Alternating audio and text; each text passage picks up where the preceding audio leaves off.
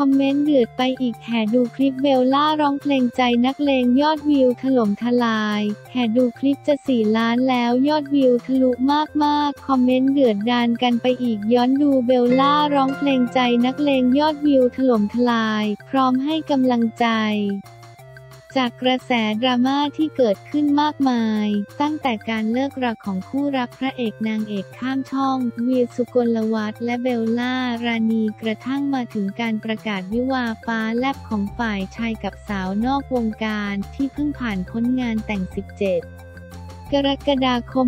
65 ที่ผ่านมาท่ามกลางความหวานชื่นอบอวลและกระแสดราม่าอย่างต่อเนื่อง ขณะที่ก็มีชาวเน็ตจำนวนมากแห่ไปย้อนชมคลิปของสาวเบลล่า เคยร้องเพลงในงานหนึ่งเป็นเพลงใจนักเลงของออฟพงษ์พัฒน์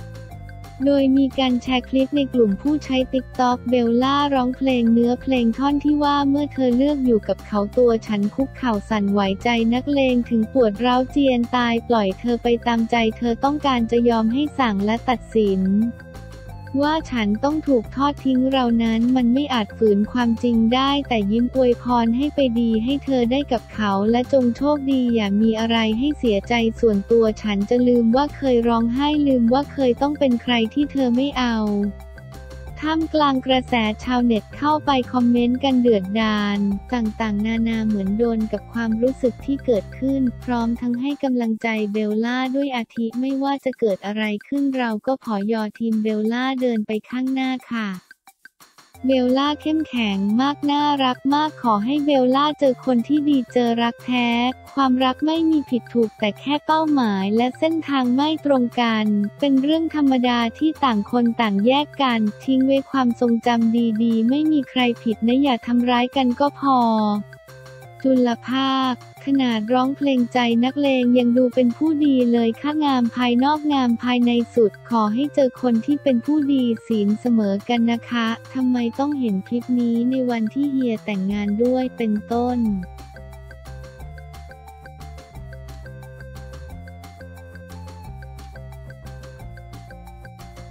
แอนโทนีรุดเยี่ยมครอบครัวปานเพชรเผยนักชกชาวฝรั่งเศสช็อกหนักซึมเศร้าร้องไห้คนเดียว แอนโทนีรุดเยี่ยมให้กำลังใจครอบครัวปานเพชรหัวหน้าค่ายเผยนักชกชาวฝรั่งเศสช็อกหนัก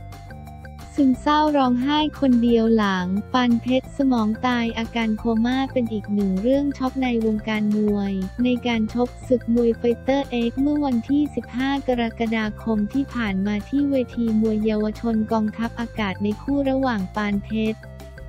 ดุงชัยมวยไทยชกกับแอนโทนีทีเอฟซีมวยไทยนักชกชาวฝรั่งเศสผลปรากฏว่าปานเพชรโดนศอกกลับแพ้น็อกไป ซึ่งจังหวะดังกล่าวปานเพชรล้มลงหัวฟาดพื้นอย่างแรงจนเลือดคั่งในสมอง เกิดอาการสมองตายซึ่งขณะนี้ปานเพชรยังอยู่ในอาการโคม่าล่าสุดวันที่ 19 กรกฎาคม 65 เพจ TF ซีมวยไทยยิม TF ซีมวยไทยยิมรายงานว่าจากเหตุการณ์สะเทือนขวัญวันที่ 15 กรกฎาคม ปานเพชรพดุงชัยมวยไทยยิมพลาดท่าโดนสอกกลับของแอนโทนี TFC มวยไทยยิมเป็นเหตุทำให้ปานเพชรหมดสติและล้มลงหัวฟาดพื้น ซึ่งณขณะนี้น้องปานเพชรยังโคม่าและมีแพทย์ดูแลอย่างใกล้ชิดทางค่ายติดตามข่าวสารอาการของปานเพชรอย่างต่อเนื่อง รวมถึงพยายามหาช่องทางการติดต่อไปยังภรรยาของปานเพชรทางหัวหน้าค่ายมวย TFC และทุกคนในค่ายรวมทั้งแอนโทนีรู้สึกไม่สบายใจเป็นอย่างยิ่งแอนโทนีมีอาการซึมเศร้าร้องไห้คนเดียว ทุกคนในค่ายรู้สึกแย่กับเหตุการณ์ที่เกิดขึ้นรวมถึงตัวผมด้วย วันนี้ตัวผมและแอนโทนีมีโอกาสเข้าไปเยี่ยมปานเพชรที่โรงพยาบาล แต่เข้าเยี่ยมน้องไม่ได้ เลยถือโอกาสขอขมาครอบครัวปานเพชรด้วยตัวเอง และมอบเงินช่วยเหลือเก๋ครอบครัวปานเพชรเป็นเงิน 20,000 บาท เพื่อเป็นค่าเลี้ยงดูและค่าเทอมของลูกน้อยในยามที่ปานเพชรรักษาตัวอยู่ ขอให้สิ่งศักดิ์สิทธิ์คุ้มครองน้องปานเพชรและนำทางน้องกลับมาหาครอบครัวด้วยเถอะครับ ขอให้ปาฏิหาริย์มีจริง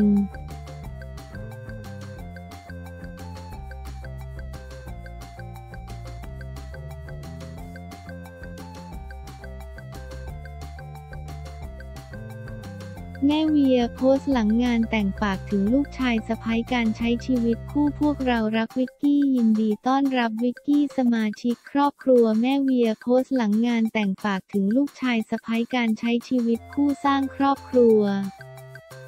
พวกเรารักวิกกี้ลูกชายเป็นฝั่งเป็นฝาหัวอกแม่สุขใจกับอีกก้าวเดินของลูกชาย แม่แหม่มพลอยไพลินคุณแม่ของเวียสุกลวัฒน์โพสต์ลงโซเชียลครั้งแรกหลังงานแต่งลูกชาย เป็นภาพบรรยากาศวันแต่งงานของลูกชายและลูกสะพ้ายพร้อมข้อความทั้งขอบคุณผู้ที่มาร่วมงานและทุกคำอวยพร รวมทั้งฝากถึงลูกชายและลูกสะพ้ายในการครองชีวิตคู่ด้วยว่าขอขอบคุณทุกท่านที่มาร่วมเป็นสักขีพยานและฉลองมงคลสมรสของลูกเวียลูกวิกกี้พร้อมด้วยคำอวยพรที่เป็นมงคลยิ่ง แม่หวังว่าลูกจะจดจำข้อคิดต่างๆ ในการใช้ชีวิตคู่และนำไปเป็นแรงบันดาลใจและพลังในการสร้างครอบครัวให้มีความสุขความเจริญยั่งยืนนะคะ และเจ้าภาพต้องขออภัยหากมีสิ่งใดที่ดูแลไม่ทั่วถึงนะคะ เครื่องหมายสี่เหลี่ยม VW ขีดล่าง Wedding at w a r 19 at Wiki Explorer at A ขีดล่างสุภาชัย 1 at Nat Artirut Welcome to the family Wiki We love you thank you so much for celebrating with us at my son wedding It was the most wonderful day for our families love you everyone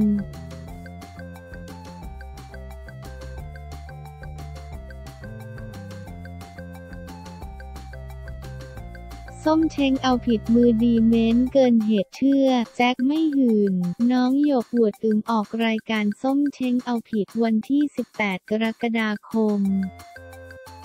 นักแสดงสาวบุญญาวันพงสุวรรณหรือส้มเช้งสามชาพร้อมลูกสาว น้องหยกเดินทางมาที่สถานีตำรวจภูทรบางใหญ่เพื่อลงบันทึกประจำวันไว้เป็นหลักฐาน หลังเกรียนคีย์บอร์ดคอมเมนต์ให้ร้ายลูกสาว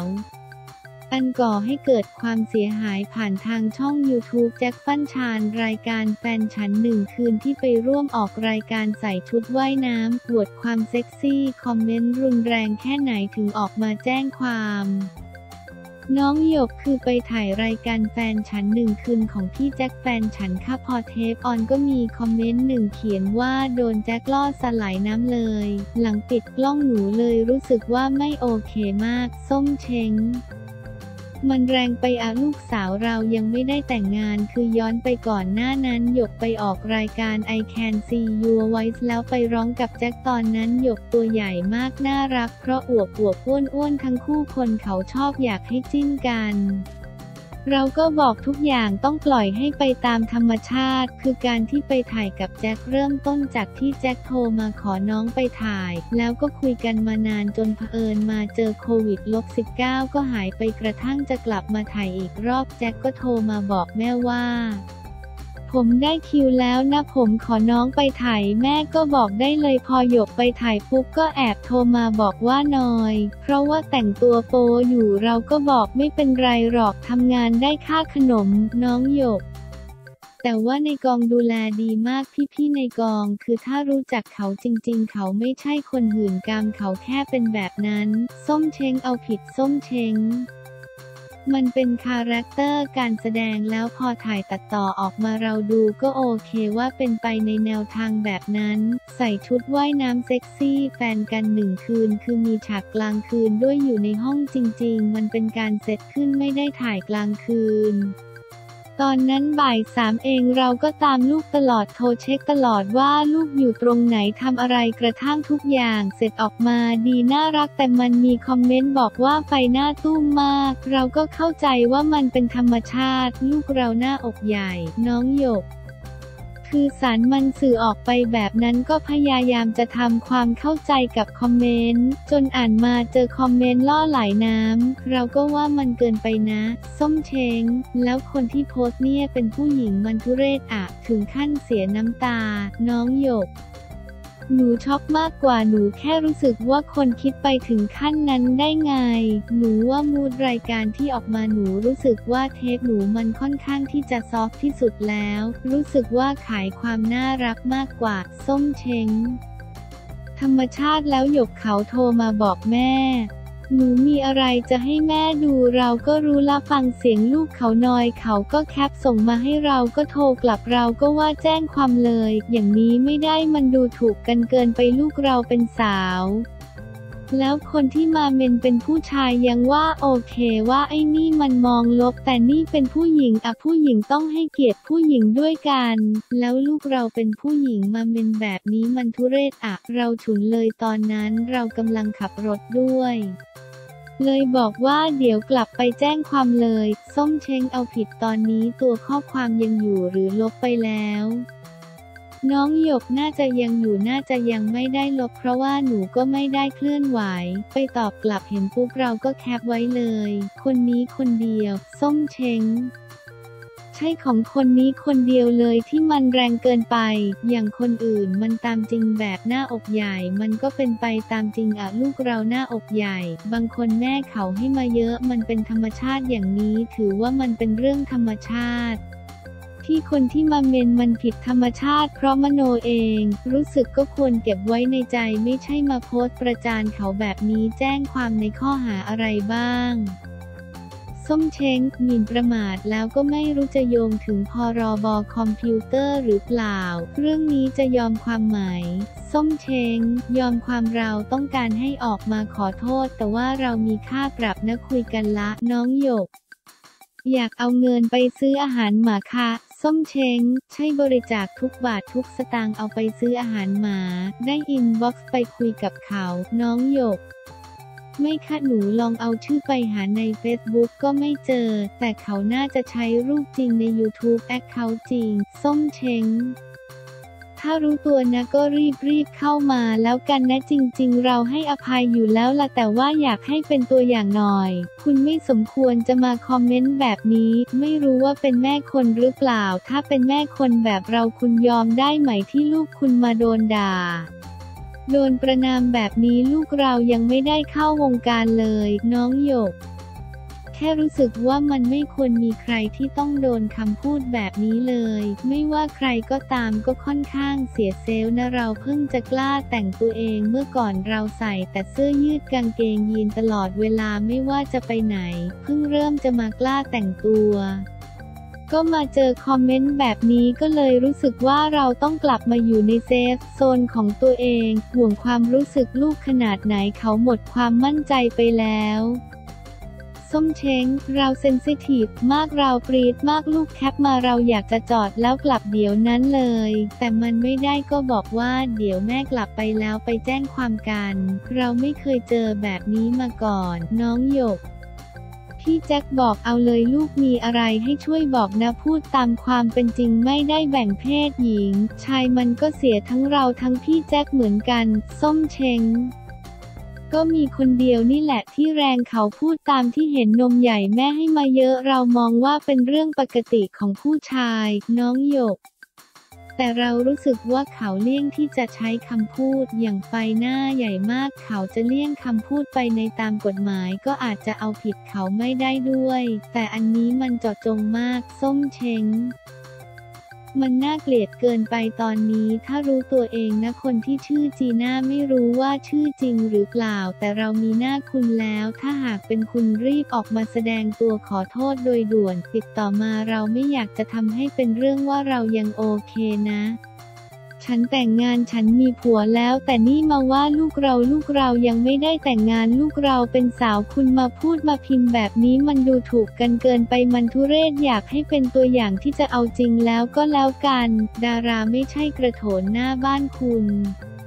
เป็นขยะหน้าบ้านคุณที่เดินมาถึงจะมาด่าด่าตามใจจะพูดอะไรก็พูดได้ มันไม่ใช่อย่างน้อยคุณเป็นผู้หญิงเหมือนกันคุณก็ต้องให้เกียรติเพศเดียวกันนะทำไมมาพอ